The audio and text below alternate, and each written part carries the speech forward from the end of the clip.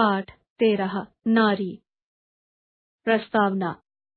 महान चिंतक, विचारक और कवि गुरु रविंद्रनाथ ठाकुर ने अपने इस निबंध में नारी जाति की जीवनी शक्ति का वर्णन किया है। नारी को अपनी पुरातन स्थिति के नकार और नवीन के स्वीकार में संघर्ष के लंबे दौर से गुजरना पड़ा।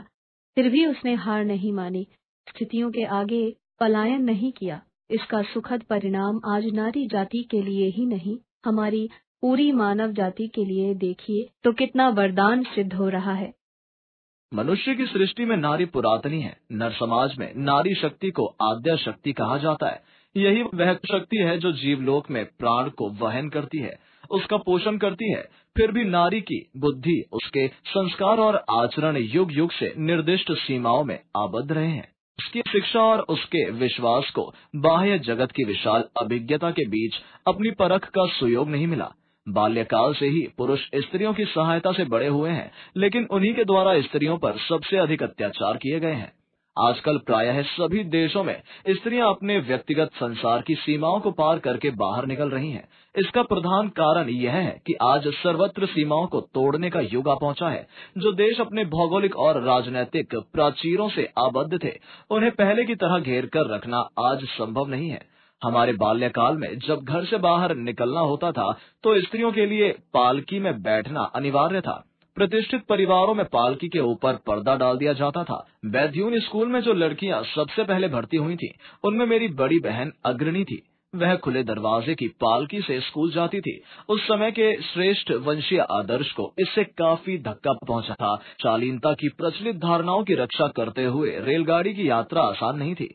बंद पालकी का वह युग आज बहुत दूर चला गया है। वह धीरे धीरे नहीं गया, उसने बड़ी तेज़ी से प्रस्थान किया है। बदलते हुए परिवेश के साथ साथ ही यह परिवर्तन आया है। उसके लिए किसी को कभी समिति का आयोजन नहीं करना पड़ा। लड़कियों के विवाह की आयु देखते ही देखते आगे बढ़ गई है। यह भी स्वाभाविक रूप से ही हुआ है। जब प्राकृतिक कारणों से नदी की धारा बढ़ जाती है तो तटीय भूमि की सीमा स्वतः पीछे हटती है। नारी जीवन में आज सभी दिशाओं से तट की सीमा अपने आप पीछे हट रही है। जीवन की नदी महानदी हो उठी है। बाह्य व्यवहार में जो परिवर्तन होता है, उसका प्रभाव बाहर तक ही सीमित नहीं रहता। अंततः प्रकृति में भी वह काम करता है। स्त्रियों का जो मानोभाव बद्ध संसार में उपयुक्त है, वह मुक्त संसार में अचल होकर नहीं रह सकता। जीवन के प्रशस्त मार्ग पर खड़े होकर नारी का मन नए सिरे से विचार करने लगता है। पुराने संस्कारों को जांचने का काम अपने आप आरंभ हो जाता है। इस अवस्था में वह तरह तरह की गलतियाँ कर सकती है, लेकिन बाधाओं के धक्के खाते खाते वह गलतियों को सुधार भी लेती है। संकीर्ण सीमाओं में विचार करने की आदत को यदि न छोड़ा जाए तो चारों दिशाओं में पग पग पर असमंजस्य का सामना करना पड़ता है। अभ्यास परिवर्तन में दुख है, विपद भी है, लेकिन उसके डर से आधुनिक युग की धारा को पीछे नहीं मोड़ा जा सकता। घर परिवार की छोटी परिधि में जब तक स्त्रियों का जीवन आबद्ध था, तब तक नारी मन की स्वाभाविक प्रवृत्तियों से सहज ही उनके सब काम संपन्न हो जाते थे। गृहस्थी के काम के लिए किसी विशेष शिक्षा की ज़रूरत नहीं थी, इसलिए एक समय स्त्री शिक्षा का इतना विरोध और उपहास किया गया उस समय पुरुष स्वयं जिन संस्कारों की उपेक्षा करने लगे थे, जिन विचारों पर उन्हें संदेह होने लगा था, जिस तरह के आचरण का अब वह पालन नहीं करते थे, उन सबको नारी जीवन में वे सुरक्षित रखना चाहते थे। हमारे देश के अनेक पुरुषों के मन में आज भी वही भाव है, लेकिन समय के विरुद्ध संग्राम में आखिर उन्हें हार माननी होगी। समय के प्रभाव से स्त्रियों का जीवन क्षेत्र अपने आप विस्तृत होता जा रहा है, मुक्त संसार में उनका पदार्पण हो रहा है। ऐसा होने से आत्मरक्षा और आत्मसम्मान के लिए विद्या और बुद्धि का विकास आवश्यक हो गया है।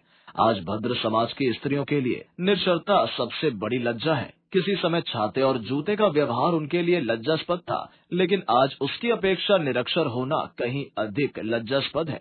पीसने और कूटने की क्रियाओं में यदि नैपुण्य न हो तो आज वह अख्याति का कारण नहीं है।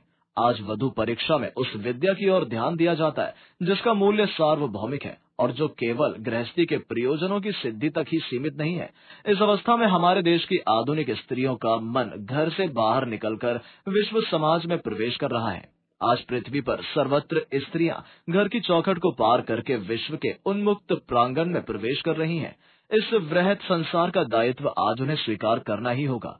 ऐसा न कर पाना असफलता है। मैं सोचता हूँ आज दुनिया में नया युग पहुँचा है। दीर्घ काल तक मानव सभ्यता की व्यवस्था पुरुषों के हाथ में थी। इस सभ्यता की राजनीति, अर्थनीति और समाज शासन तंत्र की रचना पुरुषों ने की। स्त्रियाँ प्रकाशहीन अंतराल में रहकर घर का काम करती रहीं। यह सभ्यता एकांगी थी। इसमें मानव चित्त की संपदा को क्षति पहुँची है। चित्त की संपदा नारी हृदय के भंडार में बंद पड़ी थी। आज उस भंडार का द्वार खुला है। केवल पुरुषों की बनाई हुई सभ्यता में जो विनाशकारी, असामंजस्य था, वह आज समता की ओर झुक रहा है। पुरानी सभ्यता को बार बार भूकंप के धक्के लगे हैं। इस सभ्यता में जो विपत्ति के कारण संचित हुए थे उन्हें तोड़ने की क्रिया को कोई रोक नहीं सकता। समाधान की बात तो ये है कि नई सभ्यता के रचना कार्य में दुनिया के प्रत्येक भाग में स्त्रियाँ भी प्रस्तुत हो रही हैं। केवल उनके ललाट से ही घूंघट दूर नहीं हुआ है। उनके मन पर जो आवरण पड़ा हुआ था जिससे वे बाहरी दुनिया से दूर हो गई थीं, वह भी दूर हो रहा है। जिस मानव समाज में उनका जन्म हुआ है, उस समाज के सभी विभाग आज स्पष्ट रूप से उनकी आँखों के सामने हैं। अंध संस्कार के कारखानों में बनी हुई गुड़ियों को लेकर मगन रहना आज उन्हें शोभा नहीं देता। उनकी स्वाभाविक जीवन पालनी बुद्धि आज केवल घर के लोगों की नहीं, बल्कि सारी मानव जाति की रक्षा के लिए प्रवृत्त है। हम ये आशा कर सकते हैं कि सभ्यता का नया युग आरंभ होगा। ये आशा यदि सफल हो तो इस नई सृष्टि में नारी का कार्य पूरी तरह संपन्न होगा।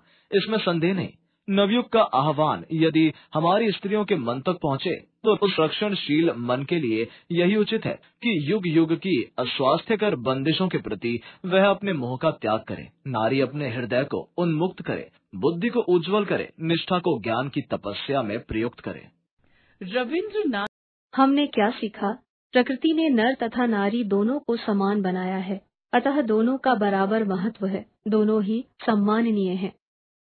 शब्दार्थ, पुरातनी, बहुत पुरानी वेरी ओल्ड आद्या, जो सबसे पहले हुई हो फ़र्स्ट पार निर्दिष्ट, जिसका निर्देश किया गया हो वट हैपेंड फ़र्स्ट अबाध, बंधा हुआ टाइड अप बाह्य जगत, बाहर की दुनिया आउटर वर्ल्ड अभिज्ञता, पहचान आइडेंटिटी सुयोग अच्छा अवसर गुड अपॉर्चुनिटी प्राचीर सीमाओं चहार दीवारी बाउंड्रीज प्रतिष्ठित सम्मानित ऑनर्ड श्रेष्ठ वंशीय उत्तम कुल से जुड़ा सुपीरियर लीनेज प्रस्थान चले जाना डिपार्चर स्वतः अपने आप खुद सेल्फ अचल स्थिर इमूवेबल प्रशस्त दिखाया हुआ व्यापक विस्तृत एक्सपेंसिव संकीर्ण, संकुचित कंप्रेस्ड असमंजस्य, तालमेल न बैठ पाना